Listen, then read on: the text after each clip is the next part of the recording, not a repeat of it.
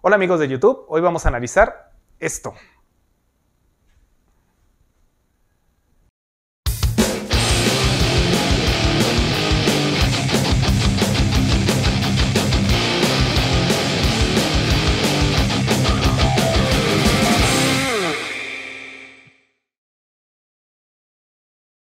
No olvides suscribirte, darle like y activar la campanita. Con esto nos apoyas para seguir produciendo este tipo de contenido.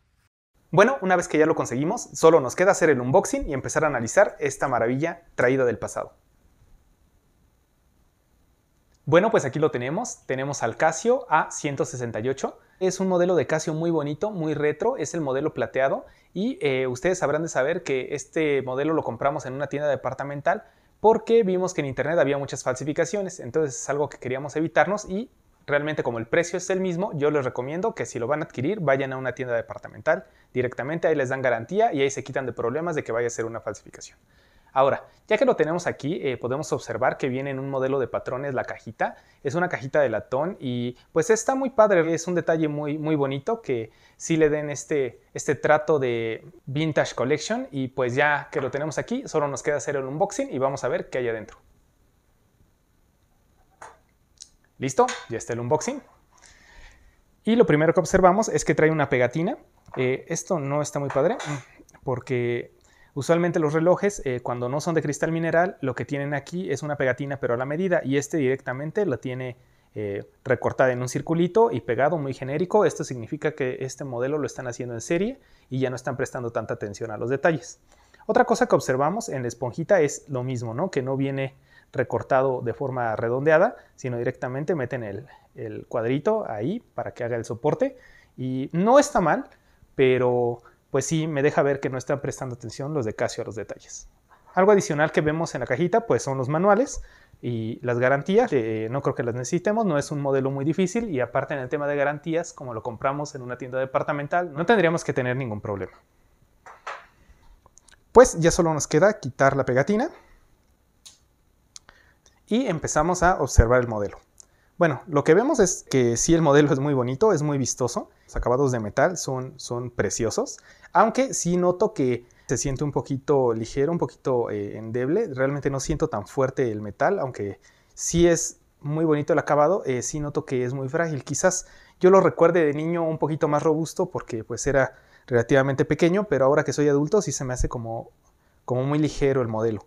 Algo más que noto es que está muy sencillo el modelo, solo cuenta con tres botones. Eh, aquí tenemos el botón de luz, aquí tenemos el botón de mod para navegar entre las distintas opciones. Me parece que este trae cronómetro, hora y alarma.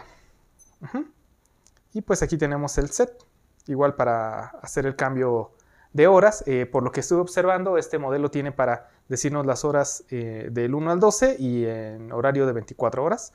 Esto pues está padre, es un reloj de cuarzo y como ya hablamos en el video anterior, pues el mecanismo funciona a través de pulsos eléctricos que van a través del cuarzo y eso hace que la presión sea muy exacta, aunque este modelo ya tenía matices muy electrónicos. Este era el smartwatch de su tiempo, ¿no? Este modelo ya tiene 30 años en el mercado y es muy padre porque cuando salió esto fue una revolución, realmente desplazó a otros relojes que habían en, su momento, relojes eh, como los relojes automáticos o otro tipo de relojes de cuarzo que eran más sencillos, que eran este, nada más eh, directamente con las manecillas y las 12 horas. Y esto fue una revolución, este modelo se vendió bastante bien. Eh, Casio fue muy famoso en esos tiempos, incluso en la actualidad hay un museo dedicado en Japón, el Museo de Casio, pues, eh, como les decía, eh, existe un museo que es el Museo Casio. Este museo está en Japón y este museo se dedicó a recopilar toda la historia de lo que fue Casio desde sus inicios hasta los últimos modelos que han salido en la actualidad. Modelos que ya son de colección, como la serie de Star Wars que ahorita están vendiendo en Liverpool. Cosas muy interesantes, ¿no? Entonces, por aquí les vamos a dejar un video del recorrido. Ah, esperemos algún día poder ir y poder recorrerlo nosotros mismos y hacer una reseña posterior. Pero bueno, vamos a continuar con la reseña de este, de este bonito reloj.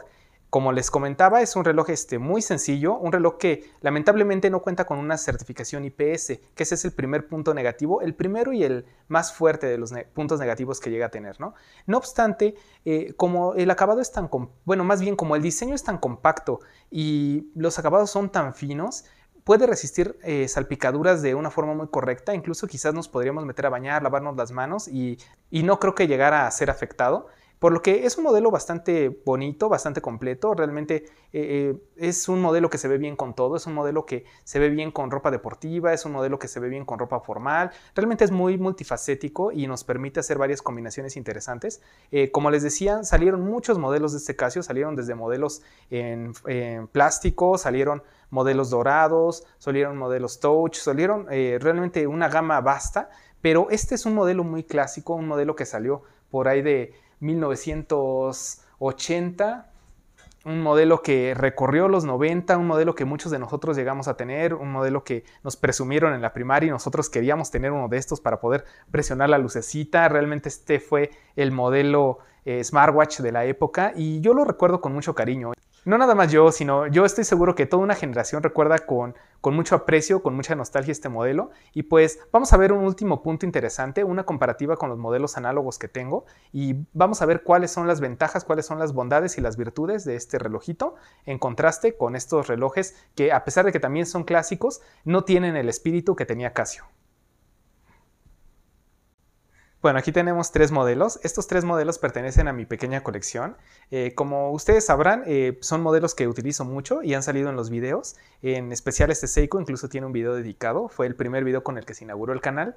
Y a pesar de que son modelos muy bonitos, eh, son modelos muy formales, son modelos hasta cierto punto un poco aburridos, modelos que son de manecilla y carecen del alma que tenía este Casio, ¿no? Y no es por echarle flores. Realmente el Casio sí es un modelo muy bonito, un modelo elegante un modelo que combina y puedes usar para cualquier cosa, cosa que con estos modelos no. Eh, un ejemplo, ¿no? Este es mi modelo que utilizo para ropa casual, este es mi modelo que utilizo para eventos formales y este es mi modelo deportivo. Sin embargo, eh, este modelo se acopla y se incorpora muy bien a mi colección porque es un modelo eh, multifacético, es un modelo que nos permite utilizar la prenda que utilicemos y siempre se va a ver bien, ¿no? Incluso si ustedes quieren hacer deporte con este, pueden eh, poner cronómetro, pueden utilizarlo, poner alarmas y es un modelo muy padre que incluso se puede usar de noche. Esto fue toda una revolución en su, en su momento, el tema de la luz. Era un apartado que otros relojes no tenían y realmente es una luz muy bonita. Es por eso que este modelo lleva tanto tiempo en el mercado y envejecido también, a diferencia de otros modelos, otros modelos que llevan 5 o 10 años y ya pierden el chiste las ventas bajan. Eh, Casio se ha mantenido eh, muy vigente a la actualidad y se ha sabido posicionar en el mercado.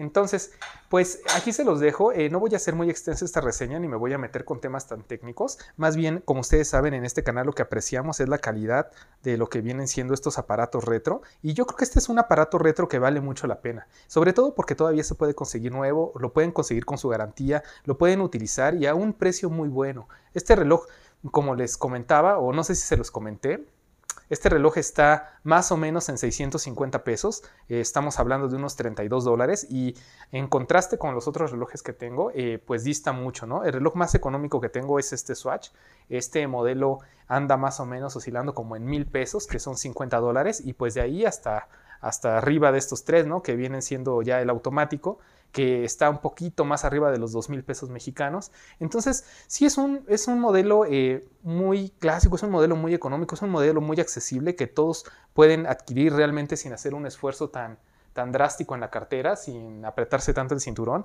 Y es un modelo muy recomendable. Yo se los recomiendo mucho, eh, recomendablemente recomendado.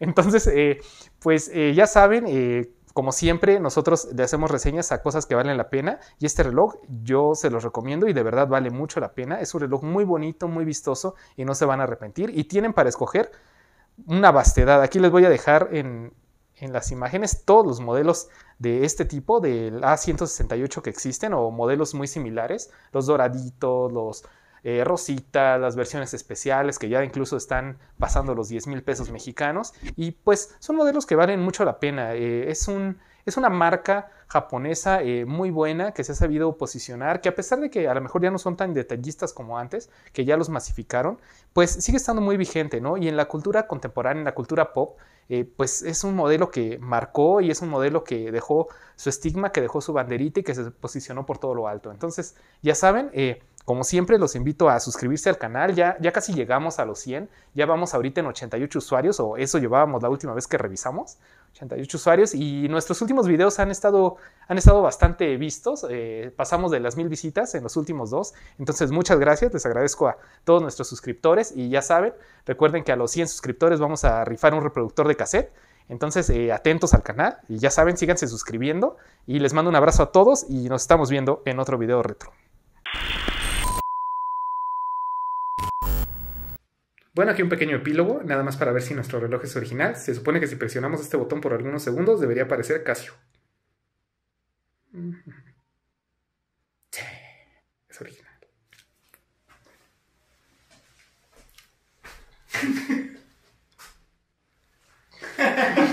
Oye, y no tienes micrófono. ¡Oh, me llévalo! no, pero sí está grabando, ¿no? Con...